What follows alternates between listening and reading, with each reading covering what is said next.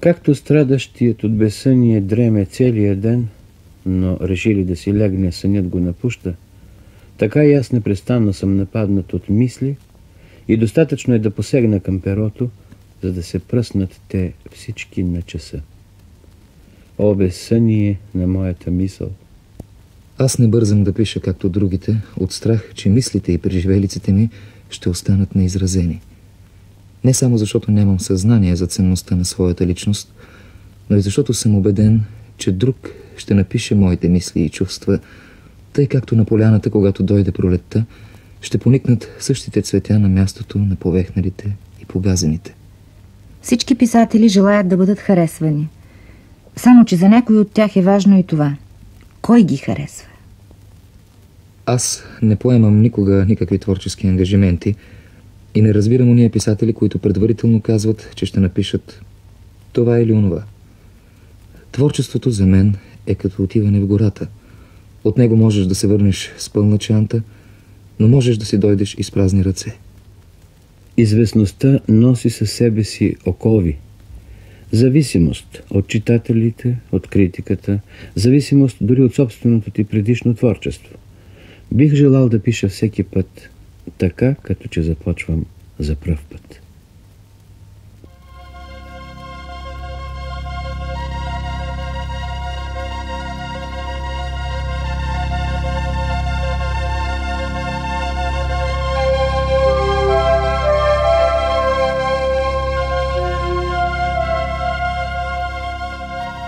Би казал, че в тази стая не е живял отдавна никой, че е заключена, стояла с години нейната врата.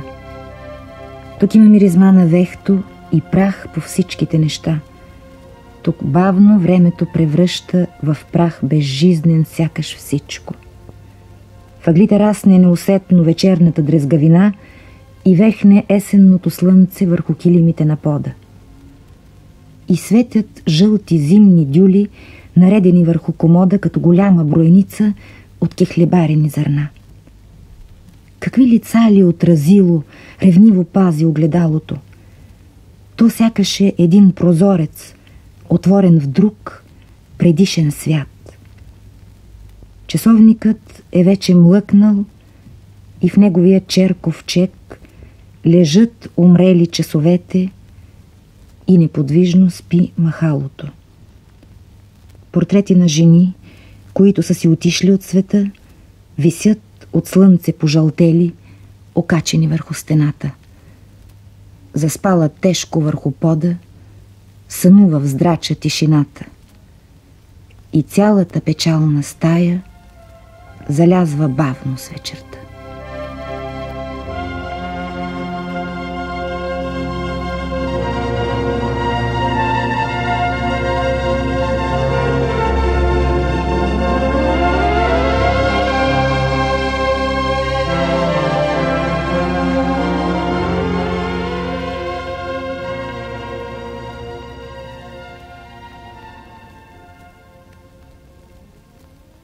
Ние умираме по-малко със смъртта на всеки свой близък.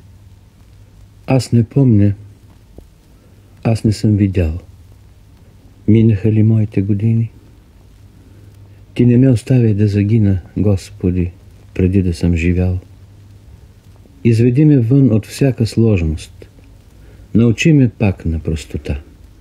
Да отдавам сетния петак от сърце на срещнатия просек да усещам своя радостта на невинното дете, което първите снежинки от небето сбира с отворена уста.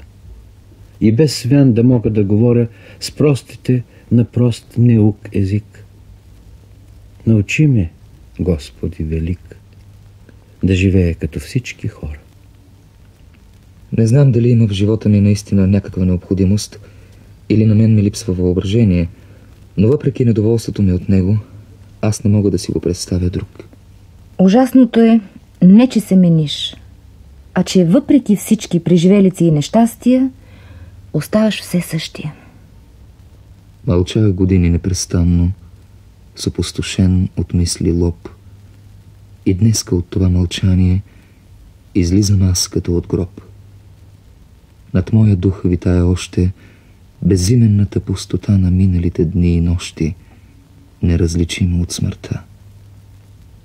И вцепенени от тревога, макар свободни този път, все още мислите не могат от клетката да излетят. Като човек от болест станал, пристъпва моя стих едва, но с гняв безсилен, с мъка странна, са пълни моите слова. И кратки са като словата, които пише спорив смел, осъденият на стената, преди да иде на разстрел.